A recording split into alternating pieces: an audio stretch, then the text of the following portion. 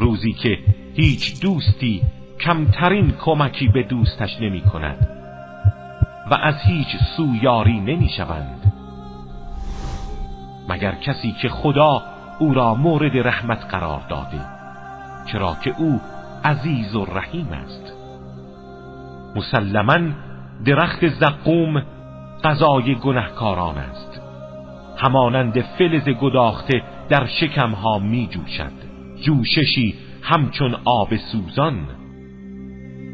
آنگاه به مأموران دوزخ خطاب می شود این کافر مجرم را بگیرید و به میان دوزخ پرتابش کنید.